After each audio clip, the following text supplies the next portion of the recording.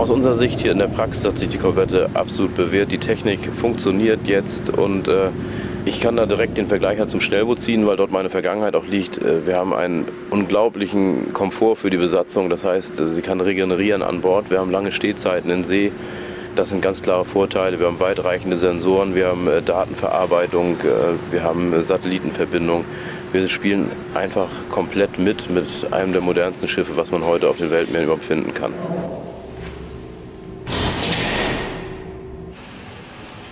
Ja, wir befinden uns jetzt gerade in der Operationszentrale der Korvette Magdeburg, der OPZ. Das ist so das Herz des Schiffes. Ähm, hier hinten in der Ecke befinden wir uns gerade in der Weapon Section Base. Das ist der Bereich, von dem aus wir das gesamte System überwachen. Auf äh, alten Kriegsschiffen haben wir ähm, für jedes Waffensystem bestimmte Bedienstationen gehabt, die dann ähm, angewiesen wurden mit irgendwelchen Daten und dann daraus geschossen wurde.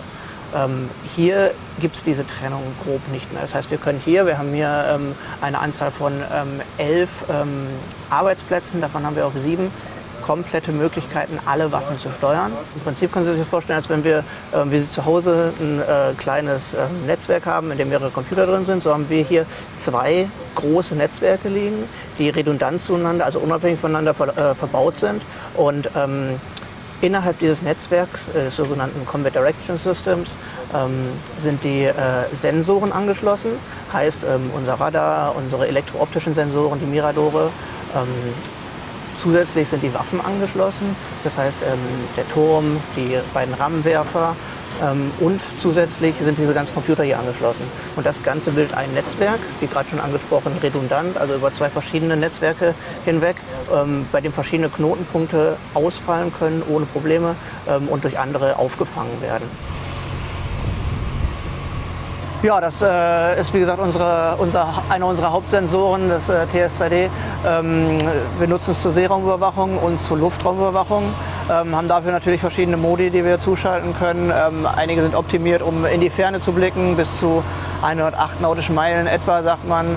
Ähm, andere sind optimiert, ähm, schneller Ziele zu erfassen. Wenn wir Waffeneinsatz beispielsweise machen wollen, dann ist es natürlich wichtig, dass wir ganz schnell Updates kriegen, wo sich das Ziel gerade befindet, gerade bei äh, fliegenden Objekten, die sich doch schneller bewegen als die ähm, seefahrenden Einheiten. Und das kann dieses System alles. Wir übermitteln das Ganze dann in das ähm, Combat Direction System, was wir gerade unten gesehen haben. Und äh, das äh, wiederum verwandelt das direkt in äh, Tracks, die ähm, von uns dann zugeordnet werden könnten. Ist es ein Freund, ist es ein Feind, wissen wir es noch nicht so genau. Das machen dann die Operateure unten. Äh, wir sorgen quasi dafür, dass das Signal bei denen ankommt und Operateure entscheiden dann, ist es ein Feind, ist es ein Freund. Das ist äh, unser ähm, RAM-Werfer ist ein ähm, System mit kleinen, leichten Flugkörpern zur äh, Nächstverteidigung äh, gegen äh, andere Flugkörper, gegen Luftziele.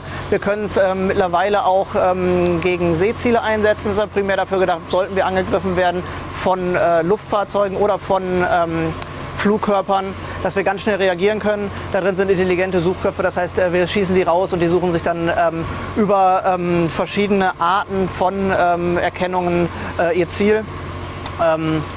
Hat eine äh, Trefferwahrscheinlichkeit von 98 Prozent. Das heißt, mit zwei von den funktionierenden Systemen, eins hinten, eins vorne, fühlt man sich doch relativ sicher gegen Luftangriffe.